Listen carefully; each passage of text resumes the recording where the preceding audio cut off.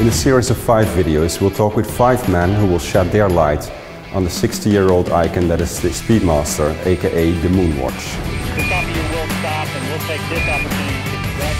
Today we'll talk to the man who was responsible for testing and certifying a watch for NASA's moon program, James H. Ragan. To us, he's known as the man who's responsible for changing the Speedmaster into the Moonwatch. I'm Jim Ragan. Uh, I worked for NASA for 36 and a half years. Started there at the beginning of the Gemini program and went to about mid, mid shuttle when I finally retired. Uh, I was in charge of uh, the photographic hardware and the crew equipment that the crew used up until the last 10 years when I, when I was subsystem manager of crew accommodations on the shuttle, which was everything inside the vehicle was basically my responsibility. The, uh, the crew was always used, because they were test pilots to begin with, were always used to having a wristwatch issued by the government to them. Uh, in the Mercury days, they weren't issued a watch. There was not room hardly for the astronauts in the small Mercury capsule. Some point in time later in the, in the program, there was uh, two Omegas bought by the astronauts themselves, uh, Wally Schirra and Gordo Cooper and they flew those themselves uh, as not issued by the government. So at, at that point, when we got to the Gemini program, the, uh, I was given the assignment to go out and find a crew-worn watch that they could use to use for EVA, for inside the vehicle, and, and all of their functions. Uh, it's, it's just something back then that everybody was used to wearing, the, wearing watches. But they came in to the fact that when I, when I interviewed the astronauts and decided what they really, or they decided what they really wanted, they also wanted not only time, but also being able to to record events in, in time as well. So that meant they uh, basically ironed it down to a chronograph function watch. The uh, typical government issue is that I couldn't go out and just buy a watch. I had to put out a specification exactly what we wanted in the watch, all the features that we wanted, and then ask any watch manufacturer to propose a watch that they would like for us to evaluate. I sent it to 10 different manufacturers as specified by the government. They wanted 10, but it was also advertised in a, what is called a Commerce Business Daily, which anybody could pick it up and, and found that out. In the end, when we got the proposals back, we only got four.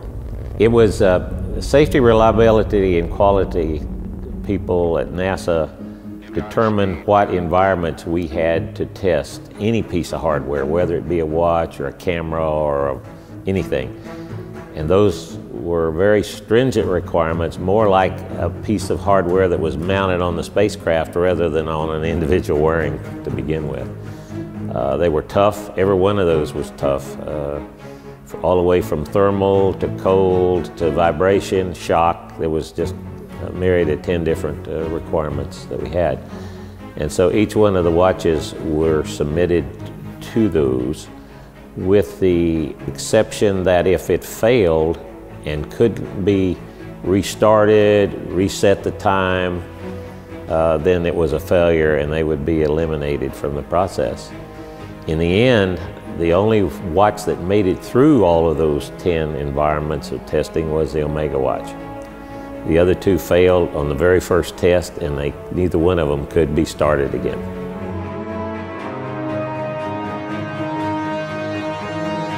All of the environments were, were, were set up, they, we had the test equipment there in Houston to test them. The tough ones were the thermal requirements because they basically was plus or minus 250 degrees Fahrenheit, which is extremely difficult test for hardware to begin with, especially a watch. Uh, thermal vacuum, uh, where you also had uh, it in a vacuum with heat. Uh, you had shock, vibration. That was an acceptable requirement, and Omega passed all of those. It was strictly a business relationship to start with, uh, but they were became an integral partner with NASA in the in the timing uh, function. They uh, did everything we ever asked. Uh, they provided uh, the the they were the only ones that I would allow to do the maintenance on the watches. To this day, I believe that Omega is the only contractor to NASA that has been there since the Gemini days to today. They still provide watches uh, to the space program. The, the, the Gemini days, we had the unprotected uh, pushers on the side, and the problem I had with that is we, at least six months before every mission, the, the crew and the backup crew got a set of training watches so they could get familiar with it and use them. And they were always bending the pushers and they were breaking them off. And so at that point, uh, not knowing exactly what Omega was doing, I suggested to them that I needed help on that and come to find out after the fact a little bit that they had already been working on that design. So that came up with the next design of the watches that we bought in, in, very, uh, in the very early Apollo days to, to take care of that problem. After that was done, I never bent, or the astronauts never bent another pusher on it. I wanted to start talking about the original uh, Speedmaster that Omega developed, and this is before NASA it was developed the first generation, which was out of production by the time that we got to the uh, need for them on, on the Gemini days. And the next generation came along, which is a little bit more modern, and uh, this is the first generation of the watch that we tested to, to uh, make sure that it would pass all the tests. And uh, this was the one that was in the Gemini days. You'll see that uh, you can see on the side, you can see the pushers were not protected, and these is what I was talking about earlier that uh, would, would get bent up. After I asked them for help, uh, the third generation, which was basically the, the watch that we flew on Apollo, it has now the protection on the pushers, which kept them from getting bent and broken. So we, we made a vast improvement both for NASA and also for the general public in particular. Next generation is a, the, the, the radial dial, and this is one that I had to write a specification to go out and buy for the shuttle program.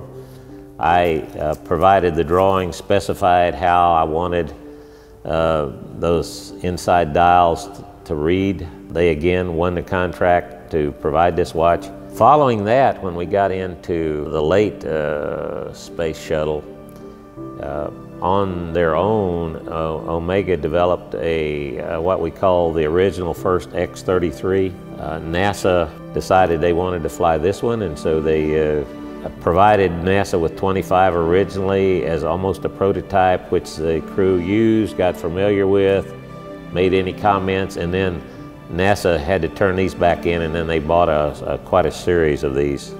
Several years later, uh, the X-33 Skywalker, which is now a standard equipment by ESA and the Russians, uh, is now the one that is out there uh, being used. NASA still continues to use the first generation they bought.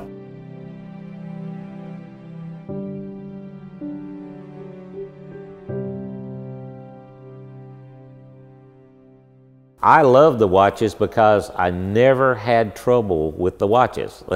they continued to work. Omega serviced them for me. I wouldn't let anybody but Omega touch the watches, even to service those things. I got all the pieces they took out if they changed them back. I never had trouble with, with watches. That's one small step for man,